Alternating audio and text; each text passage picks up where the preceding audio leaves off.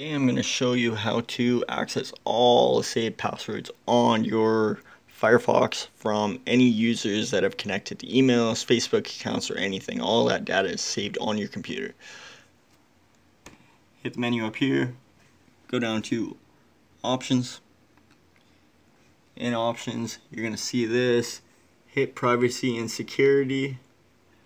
Scroll down to this section right here where it says saved logins. And then you get all the logins of whoever's connected onto your Firefox right here. You can click show passwords and it will show you the passwords of all the users that have connected to your your uh, through your internet. You can use this if you believe your spouse or someone is cheating on you. Uh, uh, see if if uh, yeah, do whatever.